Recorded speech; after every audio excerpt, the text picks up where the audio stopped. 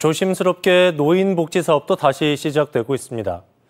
경로당과 노인복지 시설이 다시 문을 열 준비를 하고 있고 무엇보다 노인 일자리 사업이 재개됐습니다.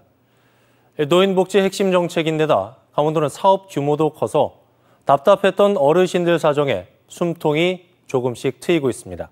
원석진 기자가 보도합니다. 백발의 어르신이 힘차게 비지를 하고 나뒹기는 잎사귀들을 쓸어 모아 쓰레기 봉투에 담습니다. 체육관 로비는 먼지 한 톨 남기지 않으려는 어르신들의 움직임으로 분주합니다. 코로나19 때문에 올봄 내내 문 밖을 나서지 못했던 어르신들이 석 달 만에 출근 도장을 찍었습니다.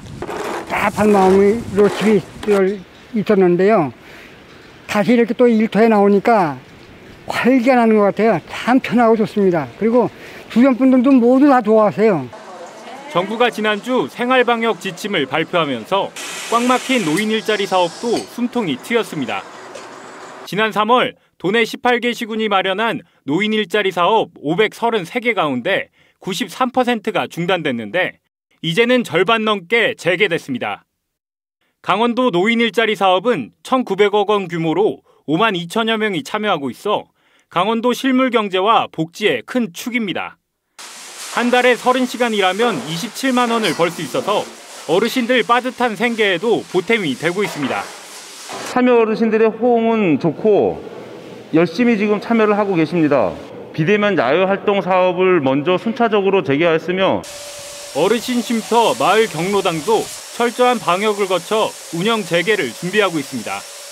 현재 도내 경로당 3,100여 곳이 모두 잠정 휴관한 상태지만 조만간 문을 열 거라는 기대감이 커지고 있습니다. 노인들이 실상은 참 힘들어요.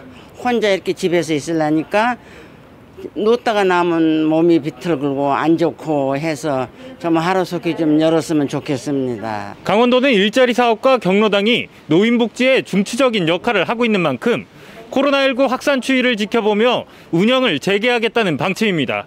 주요 뉴스 원석진입니다.